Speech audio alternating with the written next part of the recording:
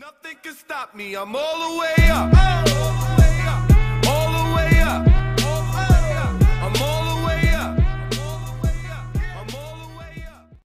Alright, guys.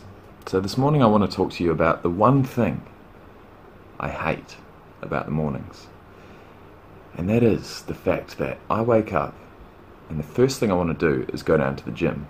But I know that if I try and do a fasted training session, it's it's not going to be as good as if I eat first. But if I want to eat first, I've got to leave it an hour and a half or two hours for that to digest so that I don't feel sick in the gym.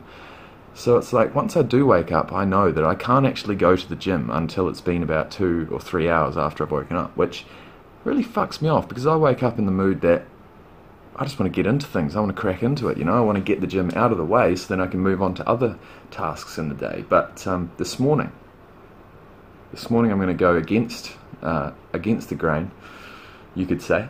And um, you know, when I was cutting, I was doing fasted trainings all the time, and I was wondering why I felt weak, why I felt like I couldn't push those extra few reps. And it's because I didn't have the nutrients running through my body. You know, as soon as I started eating properly before my workouts, the pumps were amazing. Um, I was getting more reps, I was getting stronger, and you know, I, I really do think that fasted training, weight training, is just it's not worth it. But this morning we're going to do it anyway, because I really can't be fucked waiting. Uh, I've got arms this morning. Now, if it was something like legs or back, I certainly would eat something before I go. But if it's something like arms, it's not too taxing on the actual torso. You know, um, it's you don't need you don't need too much energy, and I feel like even if I don't have any nutrients in me, um, I'm still going to get a good a good workout because they're such small muscles. Um, you know, all you got to do is squeeze them and contract them um, at a nice tempo, and you're going to get a good workout. So that's what we're going to do. We're going to go for a mixture of low rep and high rep stuff. So that's what I've been doing for most workouts, most muscle groups lately. Um, low rep, we're talking six to eight. High rep, we're talking anywhere from you know 10 to 12 up to 15 or 20. Um, and I'll do probably at least one exercise at the low reps for four or five working sets, and then at least one or two exercises at the higher reps uh, for probably yeah another 10 working sets. So each exercise I do, I usually do five working sets. The number of reps can be different, you know, depending on the exercise, but I definitely try to mix it up between the two, and um, re- you know recruit the the maximum amount of muscle fibers in that muscle group. So I'm going to go and make a caffeinated beverage. I don't know what I'm going to use, but I have been using this actually. This was a birthday present from, well, one of the only birthday presents I got. Um, and it's by Kris Gethin, pretty sure. Uh, Pre-Kaged, it's a pre workout. Now, this is actually a, a nicely dosed pre workout, I must say.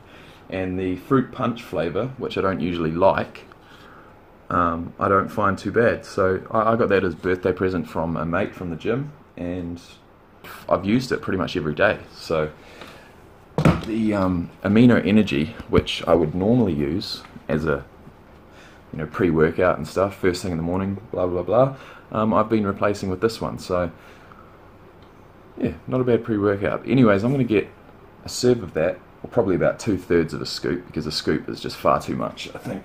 How much fucking caffeine have we got in the serve?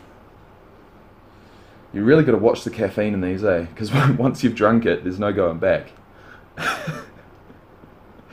but uh, there's 274 milligrams of caffeine per scoop. So I, I usually go with two thirds, so that would be probably about 180 milligrams, which is pretty much perfect for me. But with that said, I'm going to get to the gym and I'll see you there. And one other cool thing, actually, just before I do go, I don't think I showed you guys this, but I got some knee sleeves. Oh no, I did show you guys actually. It's probably about two months ago, but I thought they were too big, um, which they were, and my legs were fucking pretty tiny after the cut that I did for so long. So um, they're really good. They're by Iron Tanks, and it's basically it's basically a knee sleeve. And then what you do is you pull these Velcro strips around and make it nice and tight on the three three areas: one below, one at, and one above the knee. And they actually feel really good. My my legs have grown, guys. They've grown from you know I think 24 and a half inches is what they were at at the smallest, and they're up. Where's my tape measure? Oh, I'm not gonna fucking. They're up probably around about 26 inches right now. Obviously more body fat, but I'm not worried about that. And what that does mean is that I've got another inch on my legs at least, and I'm filling these out now. So these are fucking good, heavy duty. Um, they are quite stiff. I know that I'm going to need to use them to sort of get get them uh, molded a little bit, um, but I can't wait. So for any of you guys wondering, it's Iron Tanks, and they're large.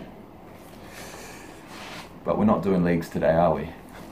We're doing fucking arms.